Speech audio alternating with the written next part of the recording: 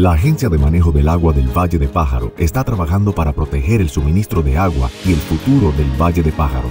El proyecto de suministro de agua de College Lake brindará alivio a el agua subterránea bombeada en exceso de la región para apoyar nuestra agricultura económica. Se construirá una tubería de 6 millas desde Holohan Road hacia la costa durante los próximos dos años. El tráfico se verá afectado durante la construcción. Más información en pvwater.org diagonal construction.